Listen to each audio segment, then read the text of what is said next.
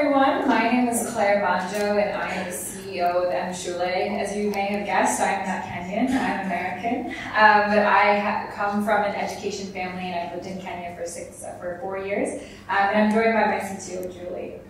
Uh, so, Mshule is Africa's first personalized learning platform that's available through SMS for primary school students. Um, as uh, Doreen said, we're based in Kenya, and Mshule means mobile school in Swahili.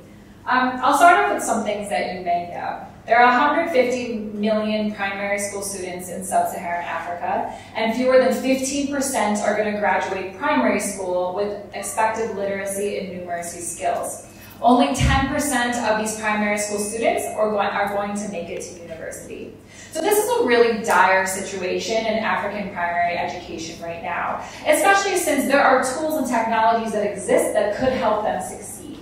Um, we see in other parts of the world, adaptive and personalized learning is working even in low-income environments. Um, but the problem is the majority of primary students in Africa today can't access these technologies. And this is because instead of having smartphones or internet connectivity, the majority of communities have phones that look like this, and even worse than this sometimes. Uh, fewer than 20% of the African population has access to smartphone and internet devices, and fewer than 10% of schools has access to the internet. So people are really missing out on the opportunity to benefit from these innovations in learning technology. So again, you may know all this, but what you probably don't know is that parents are already spending, even in the 90% low income mass market, 10% to 15% of their income on education, and 15 plus dollars of that a year is going to supplementary learning tools alone.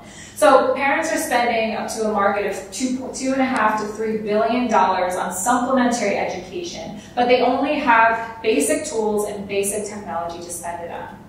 So we at Mshule believe that this doesn't have to be the case, and every child should have the chance to benefit from the most powerful learning tools available. So that's why we founded Mshule, to make it possible for every child to have a personalized path to success using the tools that they have in their hands today. So you may wonder, how does this work? Uh, our adaptive learning engine uses artificial intelligence on the back end to create personalized SMS lessons that analyze what a student knows and then deliver what they need to learn next. So they receive messages of instructional or question content that gets harder as they're getting answers right or easier as they're getting questions wrong. So after students have practiced these very specific skills in math and in English, um, they then move on to harder skills to challenge themselves or to easier topics in the concept map uh, to build up their foundational knowledge. So as the students are going through these interactions, we're also updating and analyzing their proficiency profile on the back end. Do we then use this data to close the data gap for parents and schools? And we give ongoing reports and insights to their parents, their teachers, and the schools. This is the first time ever that these schools and their parents have been able to have daily and weekly insights into how each class, each child, and the entire school are performing. All of this is accessible to parents for less than a dollar a month and for tiered packages for schools and for organizations. Current options available in the market today are local tutors, which are often prohibitively expensive and don't scale as well, um, or basic tech tools that don't personalize to students' needs. So we're the first option available to parents and schools that combines the accessibility of SMS on a feature phone with the personalization of a tutor. Uh, we also have the team to succeed. I've spent seven years in accessible education in India, India, the US, and Kenya, previously working with Bridge International Academies in Kenya. My CTO comes from ex uh, experience building adaptive learning and SMS learning um, projects, and the rest of our team comes from instructional, customer experience, and data and communications experiences. So far, I know this sounds like a crazy idea, so we wanted to prove that it would work.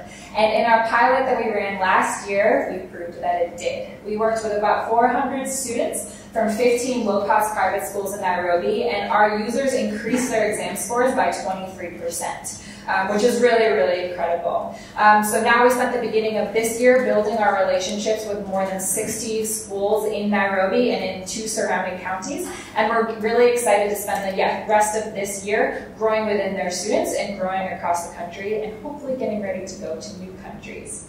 Um, so as Doreen mentioned, we're raising a seed round to accomplish that goal. We have 60% of a $300,000 round committed. So get in now if you want to help us achieve uh, this really exciting goal. Um, and we're also looking for content and scaling partners um, to help us move from just our initial subjects of math and English, but to other subjects and other 21st century skills, and also help us enter new markets like South Africa, like other places in East Africa and West Africa, to transform the lives of a million students in the next five years. Thank you so much.